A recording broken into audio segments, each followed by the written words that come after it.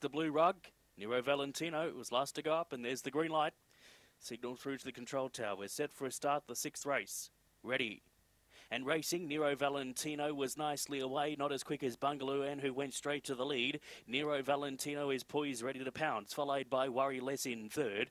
Fourth is Compton Robbie, and out the back is Midnight Bandit. Down the back straight they roll, and Bungaloo and using plenty of the track, it's drifting out wide. It still leads by a length and a half from Nero Valentino, the favourite. Three lengths away, third Compton Robbie, followed by Worry Less and Midnight Bandit to the corner they come. Bungaloo and getting tied, sweeping home is Nero Valentino. Compton Robbie late oh, close. Probably Compton Robbie in the last stride has just beaten home Nero Valentino. Back into third was Bungaloo and Worry Less.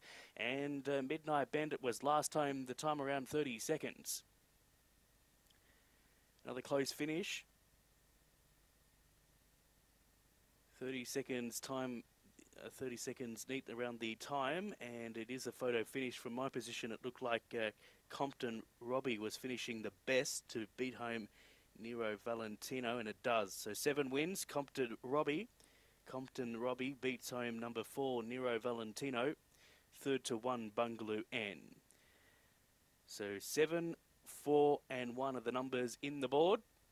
30 and 04 that official time. Run home of 1307. And five grabs fourth. So it's seven, four, one, five. 7, 4, 1 and 5, the official placings.